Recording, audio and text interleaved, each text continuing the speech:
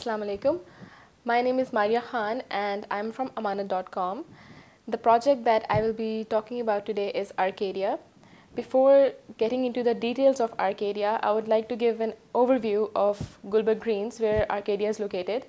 So, Gulberg Green is a luxurious residential society in Islamabad, and it is uh, very famous due to its outstanding infrastructure and also its amazing and beautiful location, especially because of its abundant greenery. So Arcadia is located in the midst of Gulberg Greens. It is a commercial project that is based on uh, residential apartments, uh, shops, and corporate offices. Arcadia is a blend of Victorian and modern design, uh, commercial and residential lifestyle. Also, it has all the basic facilities that are needed for people uh, who are living in the Arcadia or in the surroundings of Arcadia in Gulberg Greens. Uh, a lot of schools, universities, hospitals, grocery stores, all the facilities that are needed, they will be there, in our opinion. Arcadia will be the next big commercial center in Islamabad, and it is guaranteed that it will bring in sufficient profits. And in our opinion, it is an amazing opportunity for all the buyers out there. Arcadia is based on ground plus three floors and it is designed in a way to ensure comfort and luxury to the residents and the visitors alike. Uh, it is based upon corporate offices, uh, shops and luxury apartments as well. Arcadia's commercial shop area opens up the opportunity for extravagant shopping experiences for the residents and the visitors alike. Arcadia's commercial area, since it's based in the midst of Gulberg Greens and because of its outstanding location, it will be hosting a lot of uh, food outlets and different brands where people can come and buy from and uh, also Arcadia they're offering customization of shops just for example if you want to uh, make your place make your shop more spacious. You can merge two shops to make it more spacious. Basically what I'm trying to say is that they will be offering uh, customization as well. The commercial area of Arcadia is located on lower ground, ground floor and first floor. Furthermore, it has the best routes and excellent locality. Now the corporate offices, they are located in the, on the second floor of, the, of Arcadia and they also offer customization on that floor as well. You can get quick profits and double your uh, business growth by investing in corporate offices in Arcadia. Moving towards the apartments, uh, they have one bedroom apartment, but also, like I mentioned before, they're offering customization. So you can customize it according to your needs. You can merge two different apartments to make it more bigger and spacious.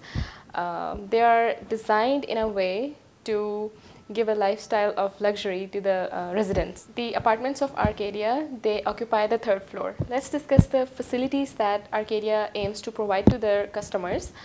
They aim to provide all the basic facilities and not just basic, all kinds of facilities that probably residents can think of, such as security and surveillance, uh, round-the-clock monitoring through CCTV, exclusive firefighting systems, uh, shopping arena, grocery stores, restaurants and fine dining, uh, corporate offices, luxurious apartments, high-speed lifts, and uh, health centers, schools, universities. Let's move towards the location of Arcadia. As you can see that Arcadia is located in the D Markaz, uh, main boulevard of the D Markaz and the site head office of Arcadia is also located in the close proximity. Now coming towards the developers of this project, uh, this project belongs to uh, Zain Builders.